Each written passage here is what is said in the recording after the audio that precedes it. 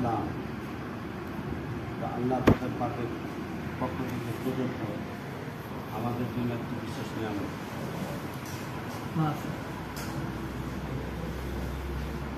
আল্লাহ পাক দিন ইসলামের নিয়ামতের মাধ্যমে আমাদের সকলকে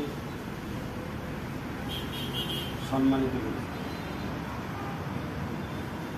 সম্মান এবং ইজ্জতের সম্পর্ক ইসলামের সঙ্গে যুগে যুগে যারা ইসলামের সঙ্গে নিজেকে জড়িত রাখছেন, যদিও হাজারো বাধা বিপত্তি, দুঃখ, কষ্ট, দুর্দশা, বিভিন্ন জিনিস বান্দার পিছনে আসছে।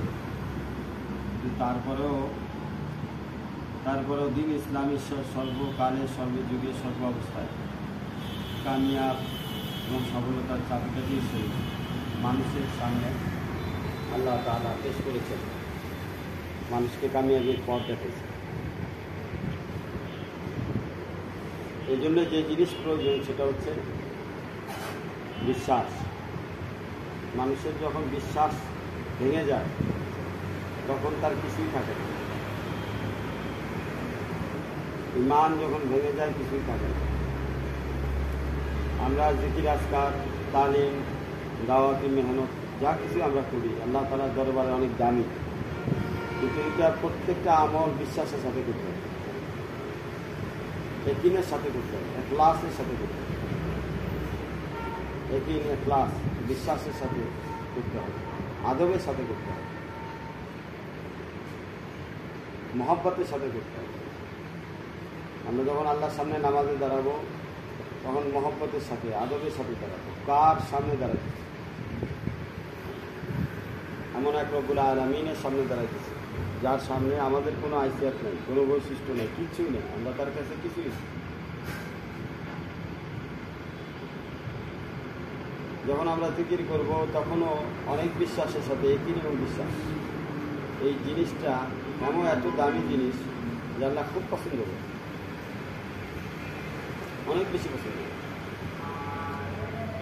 বান্দা যখন বিশ্বাসের সাথে কোনো কাজ করে, সেটা দুনিয়া এবং আখেরাতে যে কোনো কাজ করে আল্লাহ পাক সেই তার এই প্রত্যেকটা কাজের মধ্যে আল্লাহ পাক তাকে সাহায্য করে। আল্লাহ পাকের পক্ষ থেকে রহমত হয়, বরকত হয়। কিন্তু আজকে দেখা যাচ্ছে আমাদের নামাজ, আমাদের জিকির, আমাদের তালিম, আমাদের দাওয়াতি মেহনত, এগুলোর মধ্যে দেখা গেছে যে আমাদের সেরকম দিল, হাজিরে দিল থাকে না। মন একদিকে, তালিম করতেছে আরেকদিকে। তালিম যখন আমরা করব, সকলে বসে একসাথে তালিম করব। জিকির একসাথে করব, দাওয়াতি মেহনত একসাথে করব। সকলের একটা নজর থাকবে আল্লাহ রসুল সাল্লাহ আলাইসাল্লামের জামানায় কিছু আল্লাহ পাকের বান্দারা জিকির করতেছিল আল্লাহ পাক ওহি করে দিলেন যে তোমরা তাদের সাথে বসো। ওয়াসবির নাফসাকা মাআল্লাযীনা ইয়াদউনা রাব্বাহুম। তুমি তাদের তোমাকে বসাও তাদের সাথে যারা আল্লাহ তাআলাকে স্মরণ করে। আমার নবী আপনি বসুন তাদের সাথে। আসবিন মা রাব্বাহুম যারা আমা আমি আল্লাহকে স্মরণ করে। ইউরিদুনা ওয়াজহাহু আর কিছু চায় না। ইউরিদুনা ওয়াজহাহু আর কিছু চায় না তারা শুধু আমাকেই চায় আমি আল্লাহকেই চাই। ওলা তাদু আইনা কানহুম এবং তুমি তার তোমার চোখ তাদের থেকে সরিয়ে নিয়ে নিও না। আল্লাহ পাক বলছেন যে তুমি তোমাকে ওই সকল লোকদের মধ্যে গণ্য করো যারা সকাল বিকাল সবসময় আল্লাহ তালাকে স্মরণ বন্ধুরা আমার, এই যে সাহাবিরা যখন স্মরণ করত, তাদের ব্যাপারে হাদিসের মধ্যে আসছে যে যদি একটা পাখি তাদের শরীরের উপরে বসতো, তো সাহাবিরা টের পাইত না, কি বসছে তাদের দিল এতটাই গভীর, এতটা মনোযোগ, এতটা আবেগ দিয়ে তারা দিনের কাজ করতো, জিকির করতো, তালিম করতো, সব আমলগুলো তারা এভাবে পুরা কিন্তু আজকে দেখা যাচ্ছে আমরা ফায়দা পাইতেছি না। এই যে মেহনত করতেছি, তারপরও আমাদের ঘরে বরকত নাই, বিভিন্ন বিপদ আপদের সম্মুখীন। আমি একটা জিনিস নিয়ে খুবই চিন্তিত। সেটা হলো আমাদের সাথীদের, আল্লাহ পাক আলহামদুলিল্লাহ অনেক যোগ্যতা দিচ্ছে প্রত্যেকটা সাথী মুজাহিদ। এবং প্রত্যেকটা সাথী জান দেনেওয়ালা সাথী, আল্লাহর জন্য। মাল দেনেওয়ালা সাথী, সময় দেনেওয়ালা সাথী। কিন্তু তারপরও তাদের পরিবারে মাসালা হল হয় না। বিভিন্ন পারিবারিক সমস্যা লেগেই থাকতেছে, একটা পর একটা। পারিবারিক অফিসিয়াল ঝামেলা লেগে থাকতেছে। কারণ কারণ হচ্ছে অবহেলা। আমরা আল্লাহ তালার দিন তো দিন তো মানতেছি, আল্লাহকে মানতেছি। কিন্তু আমাদের মধ্যে এক প্রকার অবহেলা কাজ করতেছে। যখন আমরা তালিম করি, আমাদের মধ্যে এক প্রকার অবহেলা কাজ করে। আমরা আসলে মনোযোগ, মনোযোগী না এক ক্লাসওয়ালা না। মানে সঠিকভাবে যেভাবে হক আদায় করার দরকার তালিমের, সেভাবে তালিম করি না। যখন আমরা জিকির করি, যেভাবে হক আদায় করার দরকার, সেভাবে জিকির করি না। যেভাবে দাওয়াতি মেহনত হক আদায় করে করা দরকার, সেভাবে করি সাহাবি রাজি আল্লাহ তালানমাই আল্লাহর থেকে মদত পাইছে, সাহায্য পাইছে, সর্ব অবস্থায়। একবার একটা যুদ্ধের মধ্যে ঘটনা, যে সাহাবিরা নদী পার হয়েছে তো তার আগে দেখছে যে ওই সাহাবিদের মধ্যে যিনি সর্দার ছিল, উনি তাকায় দেখছে যে ওনাদের কোনো কবিরা গুণা আছে। তাকায় দেখছে কবিরা গুণা নাই। তারপরে নদীর উপরে ঘোড়া চালাই দিচ্ছে তো ঘোড়ার মধ্যে একটা খুর একটা ঘোড়ার খুরও পানিতে ভিজে নাই অথচ বিশাল সমুদ্র বিশাল তোফান মাছ এর মধ্যে এক সাহাবির লোটা হারাই গেছে दोनों साहबीरा मजा करते लगता है तुम्हारा अल्लाह से सा, अल्लाह के साथ ताल्लुक कम है।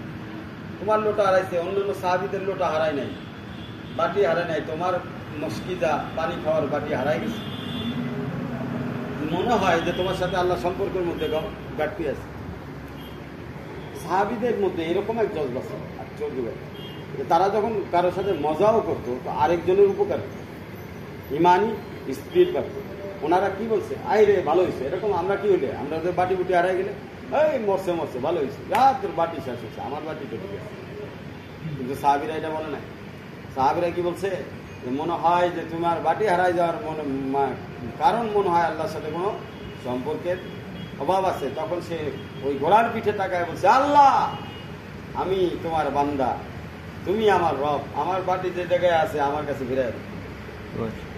আল্লাহ রহমত যখন নদী পার হয়ে পারে গেছে দেখে যে তার আগে বাটি পৌঁছায় গেছে ওই পারে সাহাবিরা পার হইতে গেছে পা- সাহাবিদের আগে বাটি পৌঁছায় গেছে। সাহাবিদের সম্পর্ক তো আল্লাহর সাথে এমন ছিল। হযরত আল কামার রাজি আল্লাহ তালানো পাহাড়ের মধ্যে থেকে আগ্নেয়গিরি বের হইতেছে। তো তৎকালীন সময় সময় তাকে পাঠানো হয়েছে আগ্নেয়গিরিতে পাহাড়ের মধ্যে ঢুক- ঢুকায় দেয় আলকামা রাজি আল্লাহ তালানো হাতে ইশারা করতেছে যে যেখান থেকে আসছিস ওখানে চলে যা। আগ্নেয়গিরিও তাদের কথা শুনছে। ওটা উল্টায়া গোড়াইতে গোড়াইতে আবার যে জায়গায় জ্বালামুখ পাহাড়ের যে জ্বালামুখ থেকে বের হয়েছিল ওই জায়গায় আবার দিল আর এক সাহাবির ঘটনা আছে। হ্যাঁ বাঘে ছাগল নিয়ে গেছে। ওই সাহাবি বাঘের পিছনে দৌড়ানি শুরু করছে। বাঘ ধরার পরে বাঘ দিতে বাঘ ধরা আমার ছাগল বন্ধুরা আমার হজরত ওমর রাজি আল্লাহ তালানোর জামানায় ভূমিকম্প হচ্ছে। তখন ওমর রাজি আল্লাহ তালান নিজের হাত দিয়ে জমিনে থাবা দিয়ে বলতেছে যে, আমি কি ইনসাফ করি না? ভূমিকম্প থেমে যাও ওমর রাজি আল্লাহ তালানোর জামানায় নীল দরিয়ার পানি। আহা, এটা কোনো এক সুন্দরী মেয়েকে ওখানে দাফন করা হইতো, জবা করা হইতো। ওমর রাজি আল্লাহ বলছে জব টবর দরকার নাই। আমার একটা চিঠি যথেষ্ট চিঠি লেগেছে চিঠি সাহাবি বলে চিঠি সাড়ে উঠে আসতে পারিনি তার আগেই নীল দরিয়া পানিতে ভরপুর। মাছ তো বন্ধুরা আমরা সাহাবিরা করে দেখাইছি। আমলের মাধ্যমে জিন্দিগি পাইলে দেখাইছি। আর সাহাবির মধ্যে ঘরে খাবার নাই। এখন আল্লাহ রসুল তো বলছে যে নামাজের দ্বারা সমস্ত সমস্যার সমাধান হয়। সে নামাজ পড়া শুরু করছে দুই রাখার নামাজ পড়ছে কোনো ফয়সালা হয় নাই। আমরা তো কিছু নামাজ পড়লে কিছু আমল করলে ঘরে যদি ফয়সালা না হয় আমরা কি করি? হিম্মত ছেড়ে দিই? যে এই সাহাবি চিন্তা করছে হয়তো আমার নামাজের মধ্যে কমতে আছে আবার সুন্দর করে নামাজ পড়ছে। আবার চিন্তা করছে তারপরে ফয়সালা মানে আবার নামাজ পড়ছে। এইভাবে নামাজ পড়তেছিল নামাজ পড়তে পড়তে যখন নামাজ কবুল হয়ে গেছে তো ঘরের ভিতরে চাকরি হ্যাঁ? আটার চাকরি অটোমেটিক ঘোরা শুরু করছে আর মধ্যে থেকে আটা বের হওয়া আটা বের হওয়া শুরু করছে। আর বলা হয়েছে যে ঘরের সমস্ত সদস্যরা যা কিছু আছে তার বর্তন টর্তন যা কিছু আছে সব কিছুর মধ্যে আটা বলছে তারপরও আটার চাকরি ঘুরতেছে ঘুরতেছে। এক সাহাবি চিন্তা করছে যে দেখি ভিতরে কি আছে। যখন দেখতে গেছে কুদরত বন্ধ পরে বলা হয়েছে যদি আটার চাকরি না বন্ধ করা হইতো মানে কুদরত যদি না দেখা হইতো না দেখতে দেখতে তো কেমন পর্যন্ত আটার চাকরি থেকে আটা বের। বন্ধুরা আমার কুদরতের উপরে ভরসা। আল্লাহর উপরে ভরসা, নেক আমলের উপরে ভরসা, প্রত্যেকটা আমলের উপরে ভরসা তখনই বান্দার হয় যখন বান্দা কোনো কিছু চোখে দেখে, কোনো নিয়ামত চোখে দেখে। কিন্তু আজকাল আমাদের আমরা নিয়ামত চোখে দেখি না। মেহনত তো করতেছি, নিয়ামত কেন চোখে দেখি? নিয়ামত চোখে না দেখার কারণ হলো একমাত্র অবহেলা। আল্লাহ রসুল সাল্লাহ আলাইসলাম এই জন্যে এই জন্যে বলছে, দোয়া করার জন্য, প্রত্যেক দিন সকালবেলায় দোয়া করো। আল্লাহুম্মা ইন্নি আউযু বিকা মিনাল আজ্জি ওয়াল কাসারি। ওয়া আউযু বিকা মিনাল জুবনি ওয়াল বুখলি ওয়া আউযু বিকা মিন গালাবাতিদ দাইনি ওয়া কাহারির রিজাল আল্লাহুম্মা ইন্নি আউযু বিকা মিনাল ওয়াল জুবনি আল্লাহ তুমি আমাকে কৃপণতা থেকে হ্যাঁ এবং বকিলের থেকে হেফাজত করো। বুক অপর বান্দার প্রতি হ্যাঁ কুনজর বদনজর ইনসান নজর থেকে আমাকে হেফাজত করো। আল্লাহ মিন্না উজুবিকা মিনাল আজি অল কাসারি আল্লাহ আমাকে অলসতা থেকে আর অবহেলা থেকে হেফাজত করো, কমজোরি থেকে হেফাজত। কমজোরি থেকে হেফাজত কেউ যদি আরবি পড়তে না পারে, বাংলায় এই দোয়াগুলো করবে। আল্লাহ মিন্না উজুবিকা মিন জাহাদিল বালা। আল্লাহ সমস্ত বড় বড় বালা মুসিবত থেকে আমাকে বাঁচাও। অদারকে শেখা এবং মানুষের শেখায়ের থেকে আমাকে বাঁচাও। আসুকিল কাজা, আমার ভাগ্য যেন খারাপ না হয়, ভাগ্য যেন ভালো হয়, তার থেকে আমাকে ভালো ভাগ্য দান করো, খারাপ ভাগ্য থেকে আমাকে বাঁচাও। অসামাতের দিন আদা এবং দুশ্মনদের আক্রমণ থেকে আমাকে বন্ধুরা আমার, আল্লাহ গালাবাতিদ দাইনি আল্লাহ মানুষের ঋণ, বিশাল পরিমাণ ঋণ জমা ঋণগ্রস্ত হওয়া থেকে আমাকে বাঁচাও এবং মানুষের রক্ত চক্ষু থেকে আমাকে বাঁচাও। আল্লাহ রসুল সাল্লাহ আসলাম দোয়া শিখাই দিচ্ছে সকাল বিকাল বান্দা যদি এই দোয়া করে, তো ইনশাআল্লাহ এই যে এই যে অলসতা আমাদের ভিতরে রয়েছে, এই অলসতার দিকে থেকে আল্লাহ পাক বাঁচাবে বন্ধুরা আমার, দোয়া এমন এক হাতিয়ার। এই দোয়ার মাধ্যমে বান্দার সকল আশা আকাঙ্ক্ষা পূর্ণ হয়। বান্দা যা দোয়া করে, যত দোয়া করে, সমস্ত দোয়া আল্লাহ পাক কবুল করে। এটা একই রাখতে হবে। যে আমি আল্লাহর কাছে চাইছি আল্লাহ আমাকে দিবেই। কার দোয়া? ওই যে অনেকে বলে না দোয়া চারভাবে কবুল হয়। একটা হলো যা চাইছে তাই দেওয়া হয় আরেকটা হলো দোয়াকে পরবর্তীদের জন্য রেখে দেওয়া হয়। আরেকটা হলো দোয়ার দ্বারা বালা মুসিবত দূর করে দেওয়া হয়। আরেকটা হলো দোয়ার মাধ্যমে মাকাম বাড়ানো হয়। এটা বান্দার হালাতের উপরে বান্দা কোন কাইফিয়াতের উপরে দোয়া করছে সেই কাইফিয়াতের উপরে নির্বাচন করে দোয়া দোয়ার ও কবুলিয়াতের কাইফিয়াত পরিবর্তন হয়। এখন আপনি নগদ চাইতেছেন আল্লাহর কাছে।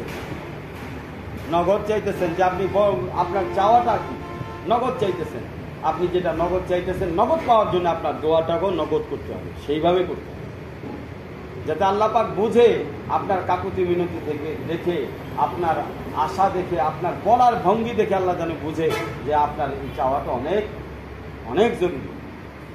আবার আপনি চাইতেছেন, যেমন আমরা মজলিসের মধ্যে দোয়া করি আপনার দোয়ার কাইফিয়াত। দোয়ার কাইফিয়াত যদি সর্বোচ্চ হয় তাহলে ওই দোয়াটা সাথে সাথে কবুল হয় এবং ওই দোয়ার ফলাফল আল্লাহ পাক দুনিয়াতে দিয়ে।